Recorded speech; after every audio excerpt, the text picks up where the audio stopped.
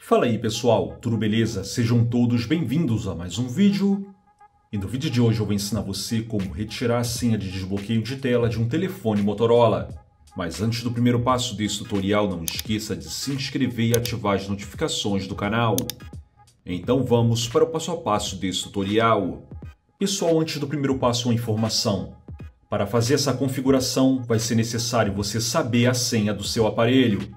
Então vamos lá, no primeiro passo desse tutorial, você vai acessar as configurações do seu aparelho. Na página de configurações, localize e selecione a opção segurança. Na página de segurança, vá até a opção bloqueio de tela. Agora vai ser necessário, por questão de segurança, digitar a senha do aparelho. Aqui nessa página, em Escolha um novo bloqueio de tela, você vai selecionar a opção Nenhum. Temos aqui a seguinte informação. Excluir o bloqueio de tela. Uma senha protege o smartphone em casos de roubo ou perda. E para excluir a senha, você vai selecionar a opção Excluir. E pronto, a senha do telefone Motorola foi removida. Então é isso aí, pessoal. Eu vou ficando por aqui. Eu espero que vocês tenham gostado de mais esse tutorial aqui no canal.